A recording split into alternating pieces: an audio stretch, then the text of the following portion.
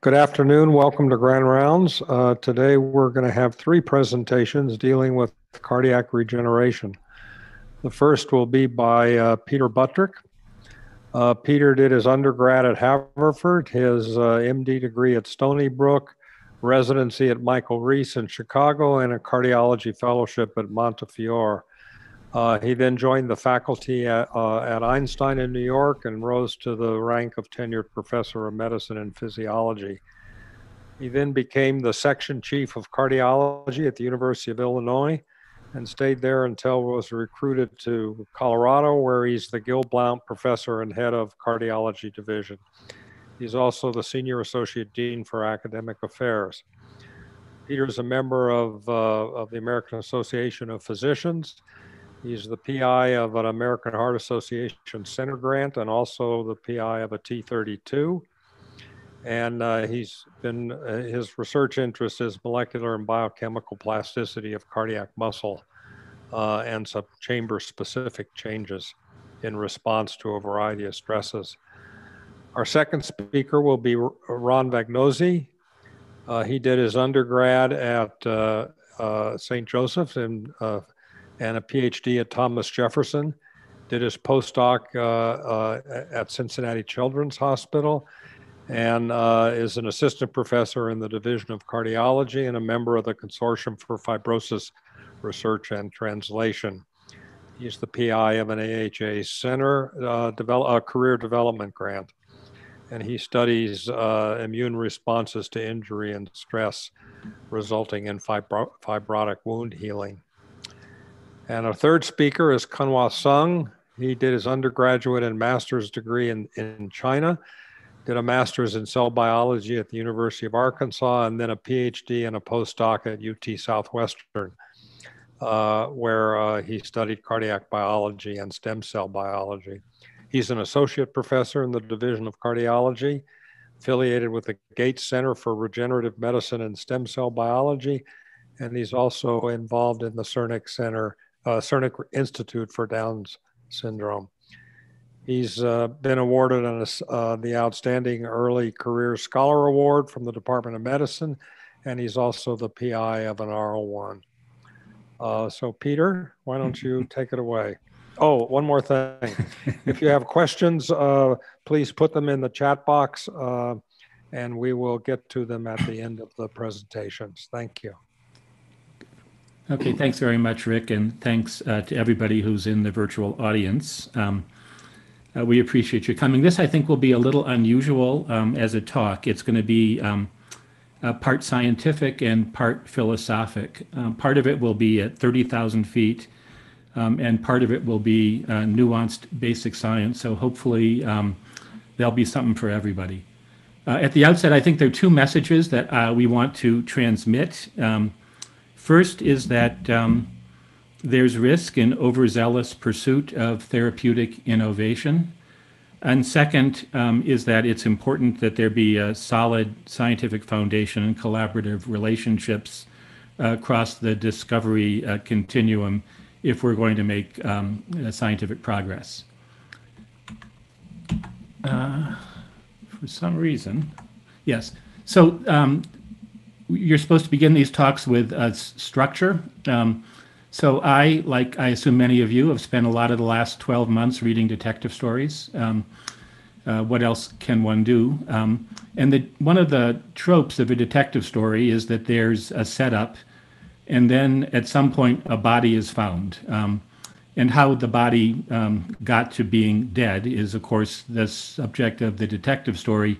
And occasionally, um, you discover that the body isn't dead. Um, that's sort of a film noir uh, trope. And uh, I think that what we're going to try to do for you today is to uh, show you a, a, dead body and then try at the end to revive it. And as we uh, discuss the discussion, as the discussion proceeds, um, I think you'll hear uh, innate discussion of clues as to why the body uh, has been found and why it, it, it might not be dead. So, um, for those of you who are murder mystery fans, um, uh, pay careful attention. We're also supposed to begin these uh, talks with a clinical case. So, this is a very genetic uh, generic case of a 60 year old who presents with a heart attack, significant left ventricular dysfunction, and subsequently drifts into heart failure. Uh, that um, sequence is illustrated here, and of course, it's a foundational problem uh, in um, cardiology and has been uh, literally for decades.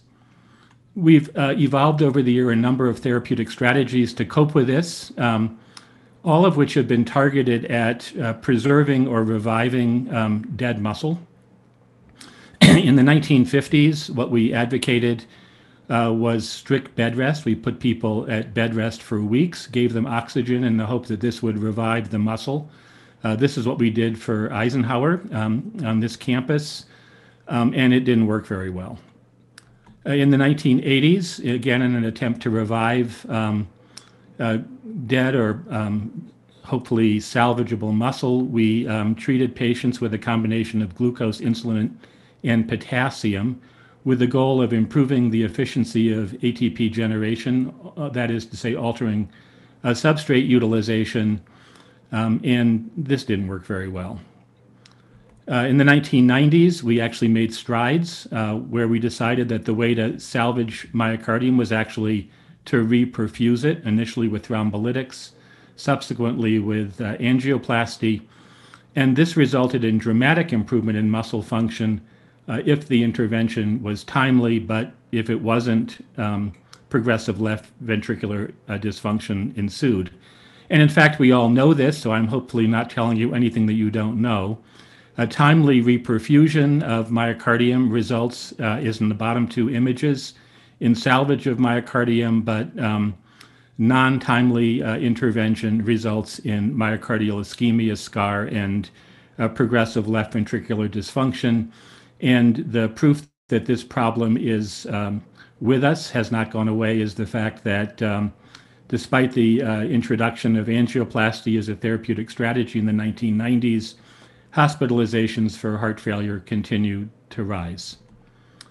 Uh, the costs of inadequate therapy for this problem I'll outline because it sets the stage, I think, for what we're going to tell you is that uh, 8 million Americans have a heart attack annually. The cost of this is $12 billion, and it's the most expensive condition uh, treated in the United States. And a sizable percentage of patients who have heart attacks develop heart failure. Uh, despite all the medical advances that we have uh, chalked up over the past several decades, the prognosis for these patients remains poor. And so, given this, it's not surprising, and this underscores a lot of what we're going to talk about today, that there is a great hunger for a novel transformative therapeutic strategy. And to continue the therapeutic strategy discussion, what we're going to talk about today is in the last 20 years or so, uh, it has been proposed that a strategy is stem cell or progenitor cell treatments which restore contractile function in residual myocardial scar tissue. The rationale is um, at least hypothetically clear that if cell based therapy, therapy can help differentiate uh, cells and develop them into adult myocytes, this can replace scar tissue and uh, functional recovery should follow uh, the outcome of this strategy we're going to talk about. So, firstly, as aside from sounding like a great idea, is there any evidence at all that this is a viable strategy? Uh, so, the first question that one might ask is Can myocytes divide? Uh, so, if you're a fish or you're a salamander, the answer is an enthusiastic yes. And the picture is of a zebrafish, a remarkable um, uh, model for this for uh, investigating cardiac development. In a zebrafish, you can literally cut the heart in half, and it will regenerate. Uh, the same is largely true, as it turns out, of salamanders. Um, however, it's not true of, of mammals. Uh, from the standpoint of rodents, you can do great damage to the heart um, uh, in utero uh, to fetal heart, and the heart will recover but once birth occurs, um, the general presumption is that that's all the cardiocytes you get, and damage results in scar. Uh, it's not surprising that this is the case. The picture that I'm showing you now is um, an adult terminally differentiated cardiomyocyte, which is a very complicated cellular structure. It's binucleate. It has very complicated sarcomeres and very well defined and well differentiated cell cell contacts. And the consensus for decades has been that the cardiocyte cell number is fixed at birth and declines over the course of a lifetime.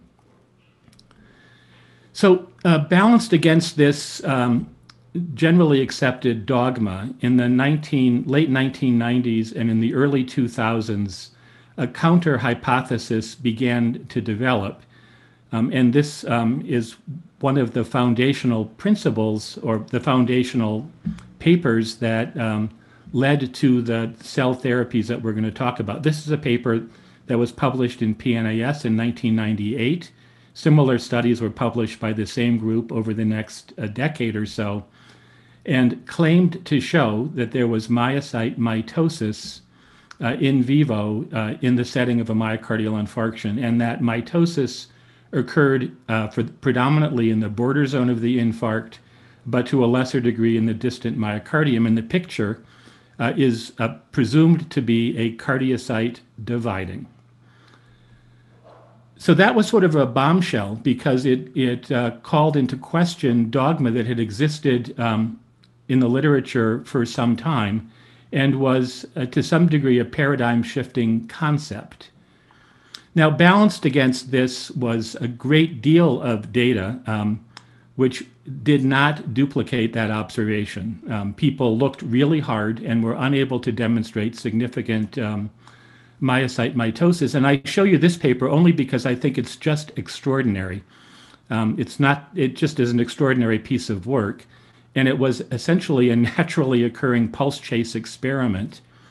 In the 1960s, um, we did nuclear tests in the atmosphere. Uh, most of you are probably too young to remember this. In the 1970s, they went underground. But as a result of nuclear testing in the atmosphere, um, people who were in the general vicinity of nuclear tests absorbed carbon 14. And that's shown in the panel on the upper left. Uh, when you did autopsies, carbon 14 has the virtue of being a very long lived um, uh, isotope. Uh, so it's possible it sticks around in the heart or in any organ for a long period of time and essentially labels the nuclei in individuals that were exposed to nuclear testing and allows one to do essentially a naturally occurring experiment on whether cells are actually undergoing division. Uh, in the bottom is the average DNA content in cardiac myocytes in the hearts of individuals at the time of autopsy who were exposed to uh, atmospheric nuclear testing. And the finding here is that there is no change in DNA content per cell over the course of a lifetime. If cells were dividing, if there was a nascent, uh, immature population of cells, this would not be a stable curve. Uh, these same people also looked at myocyte um, turnover and the total number of myocytes in the hearts of individuals that um, were autopsied. And the general finding is that there was a limited amount of myocyte turnover in people that were very young, and this declined to essentially zero uh, as you got older. And if you looked at cardiocyte number, uh, you lose cardiocytes over the course of a lifetime. So by the time you're uh, 60 or 70 years old, you have um, uh, only about 60 or 70 percent of the cardiocytes uh, that you were born with. And if you look at the morphology of the nuclei in these cells, the, the, the, the uh, nuclei become senescent over time. So this strongly argues against the fact that the heart has inherent regenerative uh, properties insofar as the myocytes are concerned. Uh, in contrast, other cells uh, are not the same. The heart has a number of different cell populations. And the C14 labeling also occurred in mesenchymal and endothelial cells. And in the bottom on the left, you can see that um, there was actually some um, increase in cell number of mesenchymal cells and endothelial cells. And uh, in parallel, there was some turnover of these cell populations, but basically nothing insofar as cardiomyocytes uh, were concerned.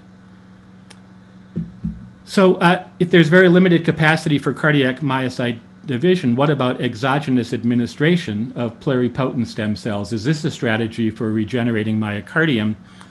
And the same group that I uh, showed you before that demonstrated the dividing uh, myocyte also looked at this question, and this is an experiment that got a huge amount of press at the time, where they gave animals uh, infarcts, uh, and in some of the animals, they uh, treated them in a fashion so as to stimulate uh, the bone marrow.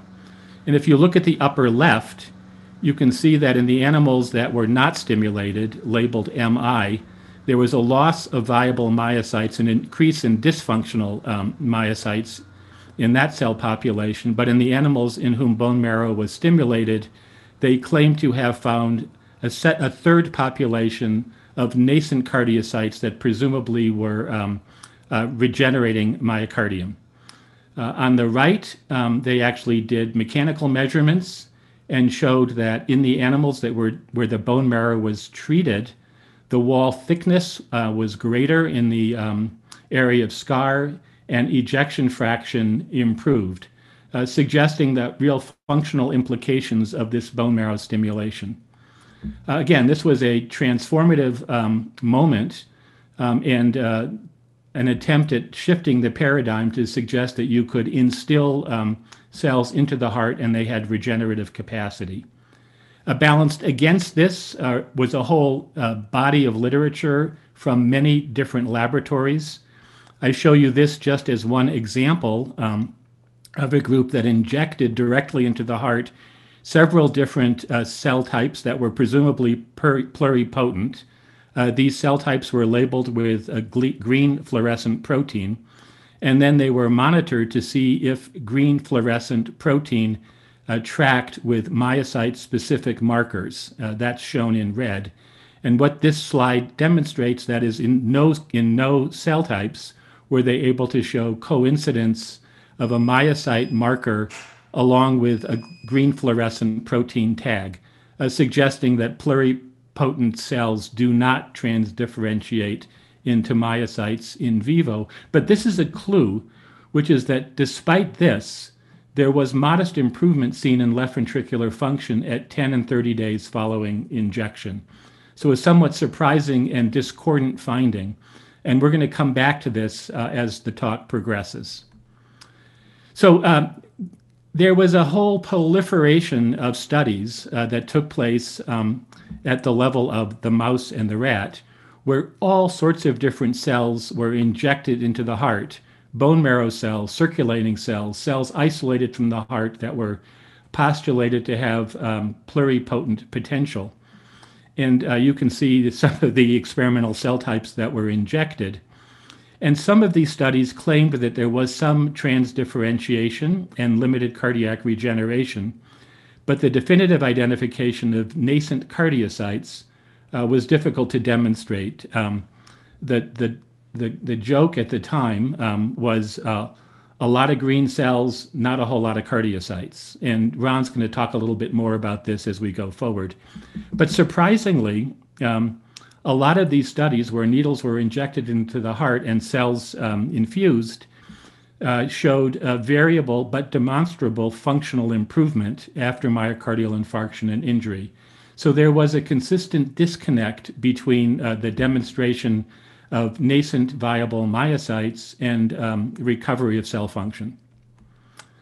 So it's worth noting, and I think this uh, gets to some degree to the philosophical things we're going to talk about today, all of the studies that I've described were relatively small. All of the animal models were not models that we we traditionally think of as preclinical. These are all mice and rats. The techniques of cell delivery, the cell numbers delivered, were highly, highly variable, although mostly they involved direct injection into scar margins. And I think the fact that there was such variability in um, the techniques used is one of the um, things that really muddies the water as we go forward. Generally, the demonstration of new mature cardiocytes in, in repopulated myocardium was not consistent and at best was rare. Uh, you could find nascent populations of me- mesenchymal and endothelial cells. And really critically, functional improvement, which was documented in many of these studies, did not correlate with the demonstration of nascent cell populations the um, the the, the uh, dis- discussion around this point sort of digressed into whether or not this was a paracrine phenomena or whether in fact we were limiting scar expansion by just injecting a boatload of cells into a scar. And both of those hypotheses were out there but never uh, comprehensively investigated. So, despite ambiguous, non reproducible preclinical data, there followed an explosion of clinical trials. Uh, here's uh, an example of um, what that looked like. The trials were to some degree initiated by the papers that I showed you at the, uh, at the outset, suggesting that bone marrow cells can regenerate uh, infarcted myocardium uh, and that uh, infarcted myocardium could be repaired by um, injection of uh, intracoronary myocytes. Uh, and again, trials proliferated, but in the background, there was a, a huge hue and cry about this. And many investigators um, uh, Loren Field um, and a number of others um, claimed that this was just nonsense, uh, and that, uh, hemo- for example, hematopoietic cells became hem- hematopoietic hematopoietic stem cells became hematopoietic tissue and not myocardium. Uh, finally, uh, the results of these trials began to be reported. Um, this is uh, a, a, study called the BAMI trial. B stands for bone marrow. AMI stands for acute myocardial infarction. Uh, and this was at, at the time one of the larger studies, um, and the result was um, uh, it was the largest trial at the time, had unexpectedly low recruitment, low event rates, and there were no meaningful group comparisons uh, that could be made to distinguish the uh, animals, the people that were injected uh, with um, precursor cells uh, from those that were injected or that were not injected. And in fact, there emerged a meta analyses of a lot of these stem cell trials, um, 41. Um, there are additional trials that are still ongoing. Uh, one is recruiting at our institution, which I think has um, some value, and we can talk about it in the Q&A period if you want. But of the 41 trials, uh, this included more than 2,000 participants. About 1,200 received cell-based therapy. And the cell-based therapy came, as I showed you in the previous slide, in multiple sizes and shapes, um, including FACS sorted autologous marrow cells. Um, and there were multiple study designs and delivery strategies. The conclusions of this meta analysis was this is safe. The studies were well executed. There was no significant change in mortality or morbidity, but there was no uh, significant clinical impact. Uh, ejection fraction did not change and no data that were presented, even through meta-analysis, uh, reached uh, sample size numbers that were sufficient to support any meaningful positive conclusions. Uh, to make matters worse, um, 31 publications from the laboratory of Piero Anversa, whose um, work I showed you uh, at the outset that launched this field to some degree, uh, the papers were retracted. Um, Harvard University paid 10 million bucks to the NIH in fines for research impropriety, and the NIH paused a major stem cell trial, um, which involved administration of a combination of cells as regenerative therapy. Uh, an editorial written by John Epstein at the time um, summarized, I think, what was the consensus that emerged which was that after 17 years of study and literally millions and millions of dollars of research investment, the totality of the data fails to support significant clinical benefit. And critically, no clear mechanism of action uh, could be supported with rigorous data. So, how did we get here and what lessons should we take away? So, I'm now presenting you with the dead body. Uh, so I think uh, the takeaways, and to some degree this is philosophical, um, and I think one takeaway is that publication bias is real, uh, and peer review, even in the highest impact journals, is imperfect. We want to publish high impact studies that are uh, paradigm shifting. But reproducibility or validation of the results in multiple laboratories is critical, especially when we're uh, contemplating paradigm shifting results.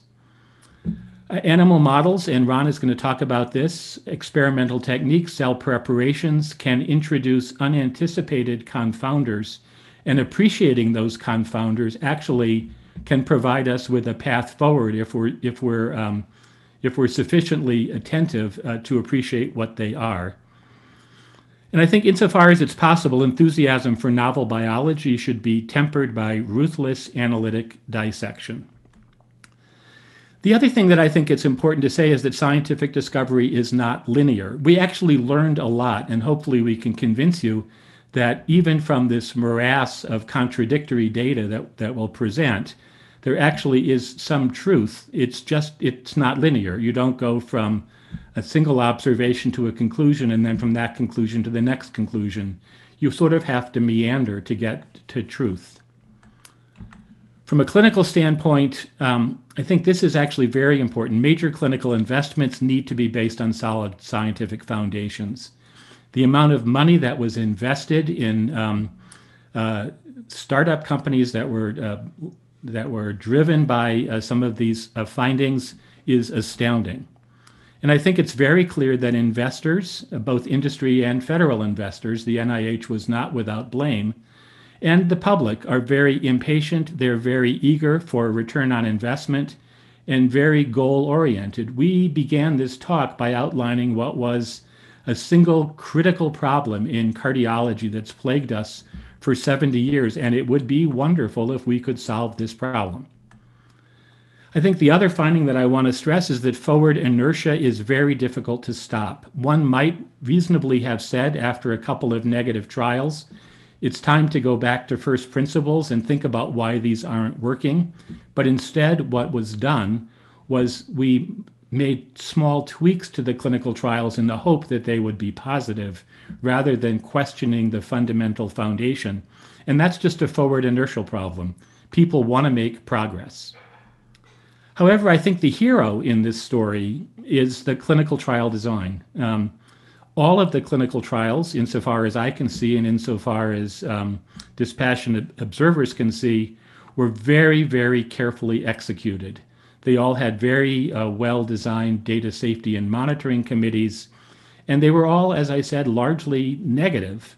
And I think that we can take some pride as a profession in the fact that that provided an ultimate reality check, albeit it was maybe a dozen years and several hundred million dollars too late.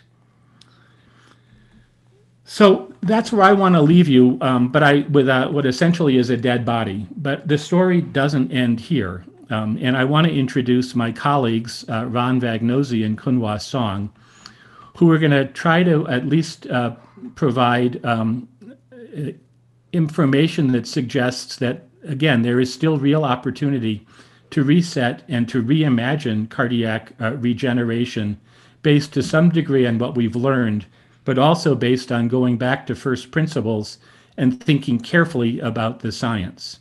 So I'm now turning the floor over to Ron. It's on you, Ron.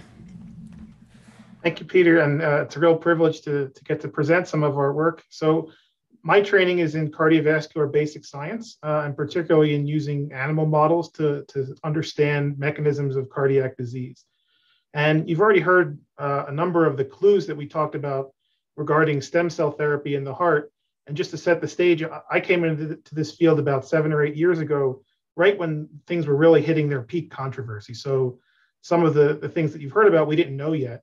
But what we really knew as a field and what the basic scientists among the group were struggling with was this idea that one, all the different cell types that you, have seen here, and you, have seen this slide uh, a few minutes ago, all of these cell types were proposed to improve heart function if they were injected into animal models, uh, and in some cases in, in cl- large clinical trials. Um, and so it wasn't clear how this was working. And the other really big question was is the heart a regenerative organ? So you, have seen some evidence that was put forth that the heart can renew itself uh, from a stem cell source. And this was actually very important to the concept of using stem cells to regenerate heart muscle. If the heart has its own stem cell, then the notion was that much like a bone marrow transplant can repopulate the bone marrow, you could isolate those stem cells from the heart and re-inject them at larger numbers uh, as a therapy. So these were the questions that the field was struggling with. And I'll try to tell you a little bit about how we used rodent models uh, and genetic tools in the mouse to address some of these points. Um, so we can go to the next slide. Thank you. Uh, so to understand a little bit of what I'll show you, I just need to briefly touch on the, the tools that we use in the lab.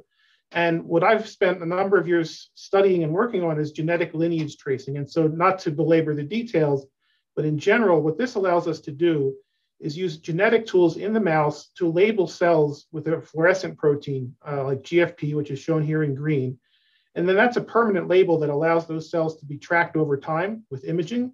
And if, for example, if you see here with the arrowhead, that green cell is, uh, is a stem cell, a cartoon schematic. And if that cell turns into a cardiomyocyte, that myocyte is still green. Uh, and an important point here is that this is different than using labeled cells that you're injecting back into an organism, which you saw an example of previously. Here, we're not otherwise manipulating the system at all. We're not isolating these cells. We're not putting them into culture and changing their properties. This is just a, a genetic tool that we can use in an intact animal to label those cells endogenously without altering their, their properties. And the readout that you really get from this, as you can see on the right, is a, is a micrograph, a fluorescence micrograph uh, which is showing all cardiomyocytes in red, and you can see the striated pattern. And then that one green myocyte uh, is one that possibly came from a stem cell lineage. So this is these are one of the key tools that we've used. Um, next slide. And so we use this to answer really a fundamental question. Does the heart have its own stem cell? And at the time, there were certain populations of cells uh, that were proposed to be cardiac stem cells, predominantly c-Kit cells, which were put forth by the Anversa lab and a few others that you've heard about. And so the idea was, can we use this system to answer the question, does a c-Kit cell ever turn into a cardiomyocyte in a mouse? And long story short, it really doesn't. So again, you can see some examples here with uh, immunofluorescence showing that one green myocyte amongst the dozens and, and hundreds of thousands of others. Uh, and we use the system to actually determine the rate of how many times we could detect a cell that possibly came from a, a c-Kit, uh, a myocyte that came from a c-Kit cell. And you can see on the right, the graph showing the percentages of myocytes that came from this origin is predominant is preposterously too low for it to be a, an endogenous stem cell. If you think about tissues that are known to regenerate from a stem cell source, uh, it obviously would not make sense for the for the heart to have a cell that could only contribute 0.005% of new myocytes. Uh, and we did this at baseline and after injury, and essentially these cells very rarely turn into myocytes. Uh, we did this with another system where we looked at uh, SCA1 cells. This was another flavor of, of cardiac stem cell that had been proposed. Uh, and so we used the same sort of genetic system in the mouse to label SCA1 cells. This is stem cell antigen 1. And we found again that we could detect very, very low rates of, of myocytes, cardiomyocytes that, would, that had that genetic label suggesting they came from a, a, a SCA1 source. And so after this, uh, our papers came out, there were a number of other groups that did even more comprehensive studies uh, in rodent models, and we're able to show that really the heart does not, the adult uh, mammalian heart does not repopulate itself from a stem cell source, which in hindsight seems like a fairly well understood principle, but at the time was heavily debated. Um, so the other real big question that was in the field at the time was that we had all this preclinical data that, you, that you've heard a little bit about, about injecting these all different types of cells into an infarcted heart in rodent models and even in some large animal studies. And by and large, they seem to produce some degree of functional benefit. So if you if you infarct the heart and inject these cells, you got a, a small functional improvement, maybe a change in ventricular remodeling. Uh, and if, and if it's not due to making new muscle, how does this work? How, how are the, all these different cell types, almost regardless of their origin, all giving this transient functional benefit? And you can see here just a few of the examples of what was being proposed at the time. Perhaps these cells turn into vessels or turn into other cell types, we and others have shown that that really doesn't occur. Or perhaps they act by a paracrine mechanism where they stimulate endogenous repair. So that was the other big question in the field. Is that, is that really how this cell therapy works? So that's what we try to address.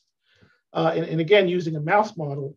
And we did a, a pretty simple, I think, a pretty simple experiment. Uh, we just took normal wild type mice that had no injury, no myocardial infarction, and we injected the most commonly used uh, stem cell type, these mononuclear cells, those bone marrow cells that had been used in a large number of trials. And we just did this into healthy animals and saw and said, what does that affect? What does that do to the heart? What kind of effect do we see? Do they turn into muscle? Do they turn into vessels? Um, turns out what they really do, and not perhaps not surprisingly, is they cause an immune response. And so when you directly inject these cells into the heart, Uh, we did immunofluorescence to show basically in, in green, you can see cardiac macrophages get recruited around the area where the cells were injected. And again, we can use the genetic tools we have to label those cells in red and show that they actually persist for a few days, not very long, don't turn into muscle, don't really turn into anything, but they cause this profound immune reaction. Uh, and if we go forward one slide.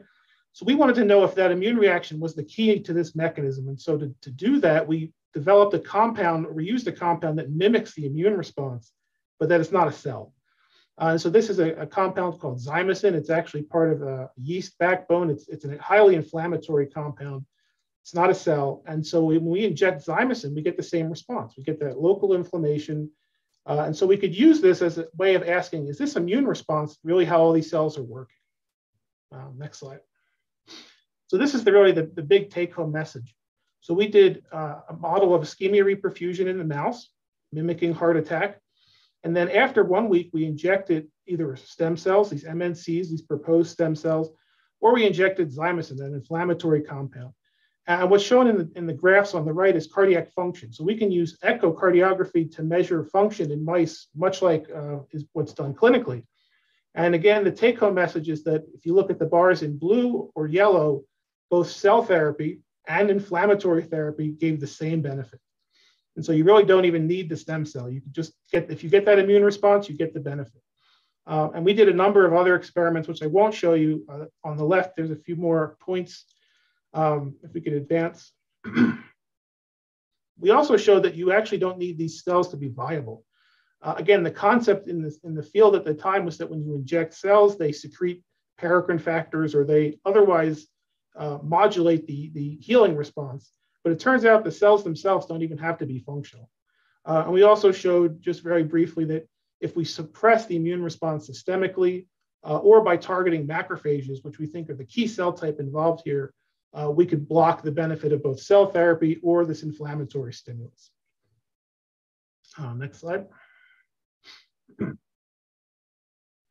And so then in the very last few minutes, I'll just briefly touch on some other key points about why we think using these animal models can inform uh, and provide important mechanistic information that could be used for clinical trial design. Uh, and so one of the really big obstacles to translating this concept into the clinic was that in the animal studies that we and many others were doing, cells were usually injected straight into the heart, into the infarct area, or sometimes into the heart right at the time of ischemia, so before there was even any injury. This is obviously very challenging to do in clinical uh, practice. And so often what happens is that you, in these trials, you would see uh, cells being infused systemically, uh, either intravenous infusion or intracoronary uh, with the notion being that these would somehow home to the area of damage. Uh, and we were able to show, at least in, in mouse, that this does not occur. And so what we did is we actually either infused or injected uh, MNCs, bone marrow cells. And you can see in the uh, pink uh, box on the left that if you inject cells, we were able to show again, we do get that transient benefit.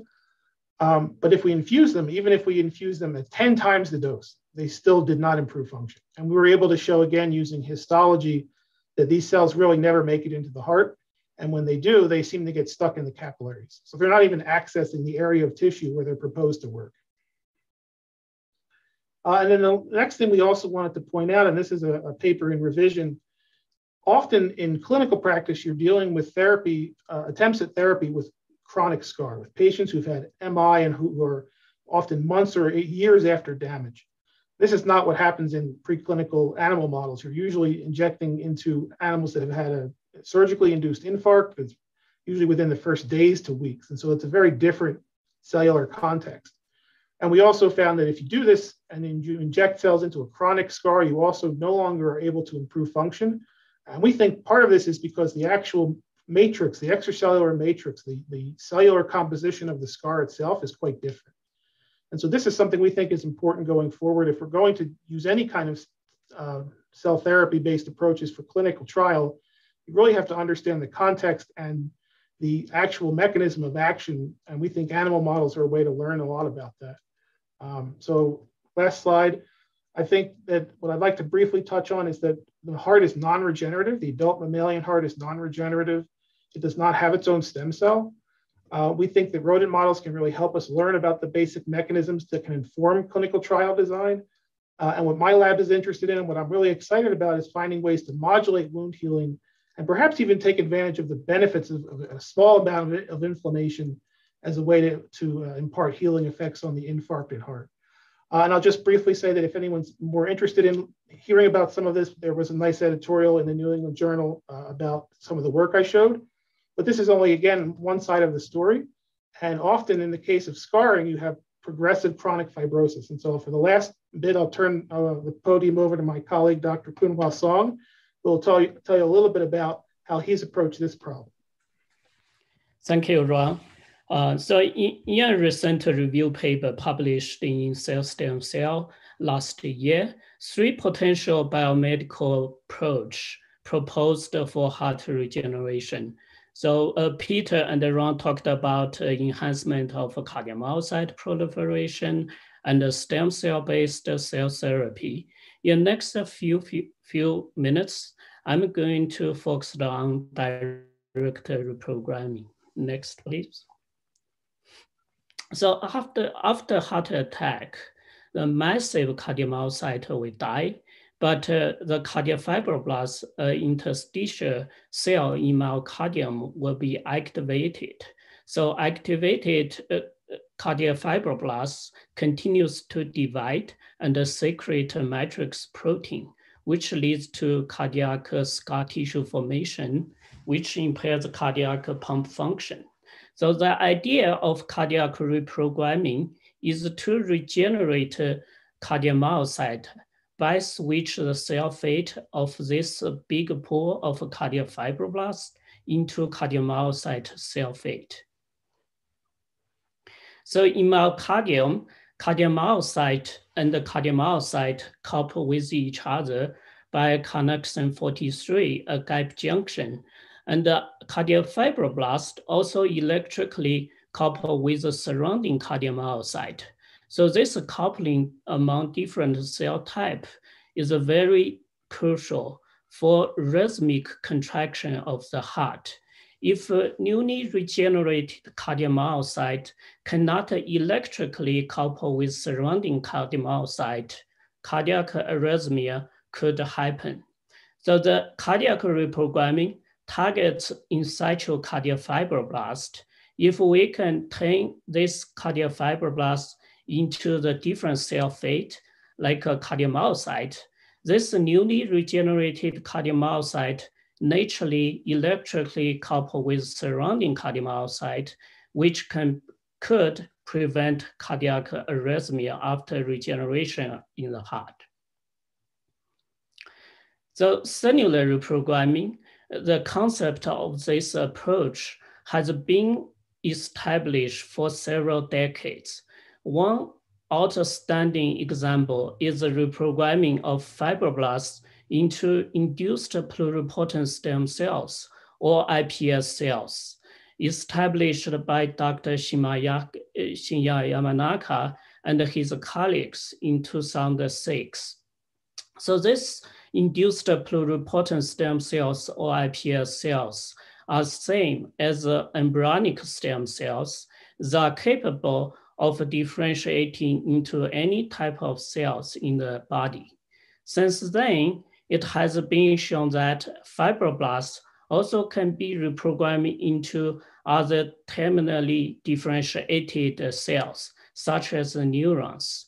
We and others have also shown that fibroblasts can be reprogrammed into cardiomyocytes. So uh, uh since 2010, there are many, many different approaches have been developed in different laboratories for reprogramming mouse fibroblasts into cardiomyocyte. So all these approaches are derived from two basic different methods, GMT method and the GHT method, which were established in 2010 and 2012 respectively.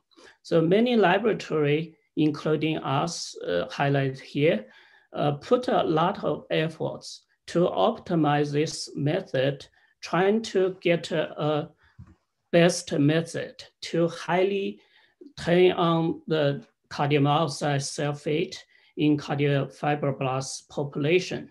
So currently, the best method can switch about 70 to 80% of mouse cardiofibroblasts into cardiomyocyte cell phage in cultural dish. So the studies during the past decades also show that heart regeneration outcomes in vivo, vivo likely correlates with the reprogramming efficiency of this approach in vitro. For example, GMT can, can uh, reprogram around 10 to 20% of cardiofibroblasts into cardiomyocyte. Injection of this cocktail in, into the myocardium after myocardial infarction increased cardiac function shown here, ejection fraction by 5 to 10%. GHMT method can reprogram around more than 50% of cardiac fibroblasts into cardiomyocyte. Injection of GHMT into myocardium following heart attack increased cardiac function by around 20%. So this data suggests that if we can find a, a way efficiently reprogram a, a mouse or human cardiofibroblasts into cardiomyocyte in culture dish, we'll have a better chance to be successful in vivo for heart regeneration. So uh, even though we can successfully or efficiently switch the mouse cardiofibrous cell fate into cardiomyocyte. Can we directly transform this method to human? The answer is probably not, because there are many differences between human cardiomyocyte and the mouse cardiomyocyte. For example, mouse cardiomyocyte with the alpha myosin heavy chain, a faster contractile myofibril protein, can beat 600 beats per minute, but a human cardiomyocyte can only beat 70 times per minute. A human heart is composed of uh, about 25% by nucleated cardiomyocyte, but a mouse heart is composed of uh, 90% bionucleated cardiomyocyte. Electrophysiologically, human cardiomyocyte also have, has a much longer action potential duration than mouse cardiomyocyte. Next.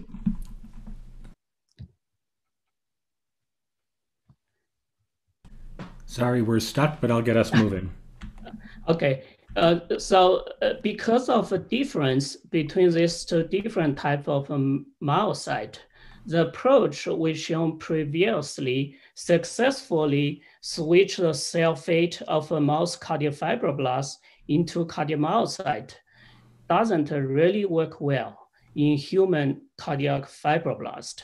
Even though many laboratories have put efforts into this, but currently the best method can only induce about 10 to 12% of human cardiofibroblast expressing some cardiomyocyte markers.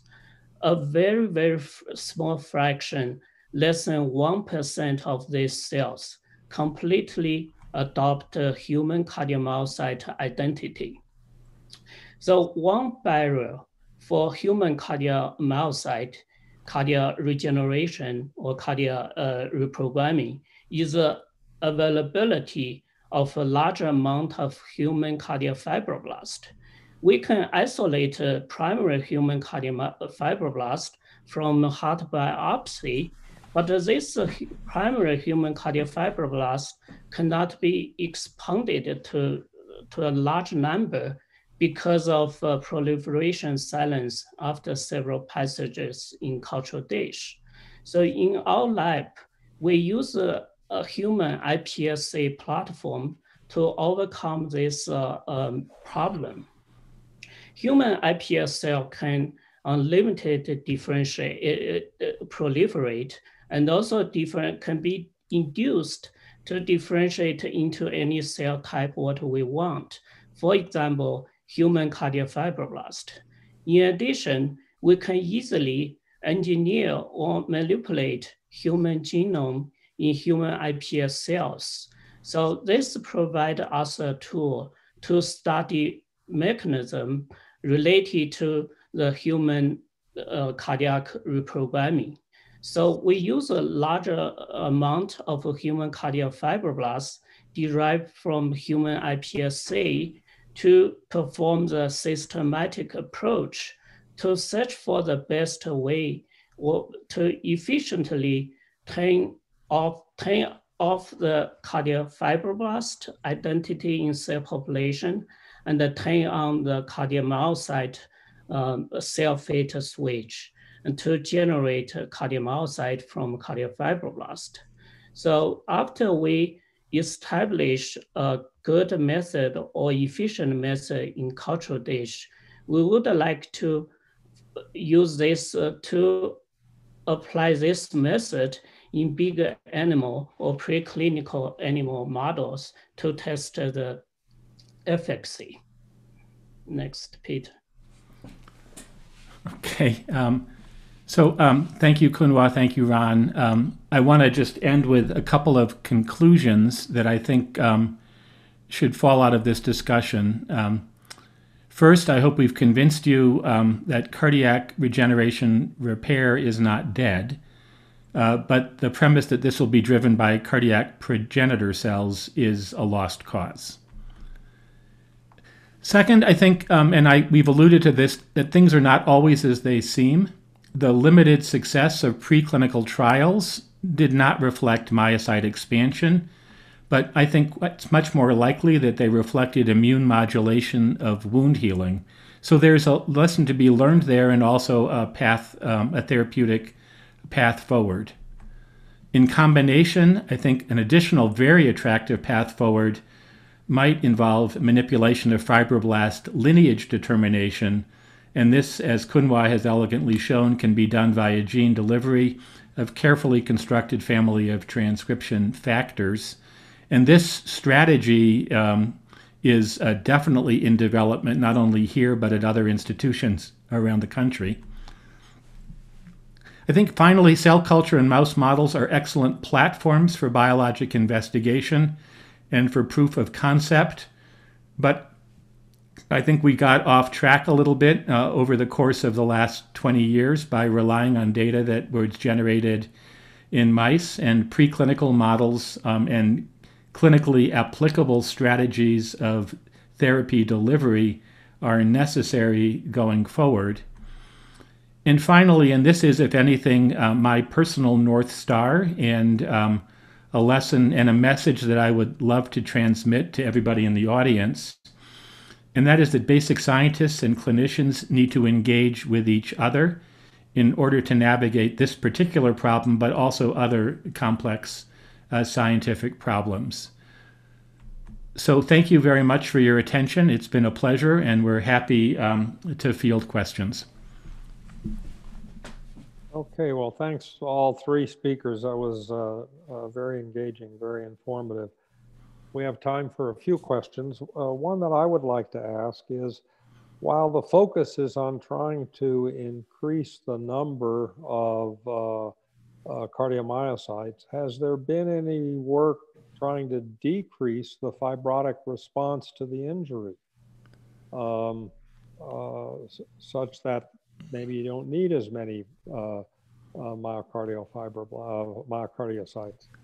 Uh, I'll take a crack at that, and then I think um, both Kunhua and Ron can speak. One of the things that Kunhua has shown is that when you're trying to get uh, fibroblasts to differentiate into myocytes, one of the uh, factors that you can use involves inhibiting TGF beta, which is to say, if you diminish the drive to form scar, you increase the drive um, to form um, uh, myocytes. So I think that speaks at least indirectly to your question. Yeah. And then I think Ron's uh, data, and again, Ron can speak up, I don't want to speak for him, suggests that um, uh, immune modulation of factors that drive scar formation may actually be very uh, beneficial. I'll let Kunwan Ron add something if, if, if they want to.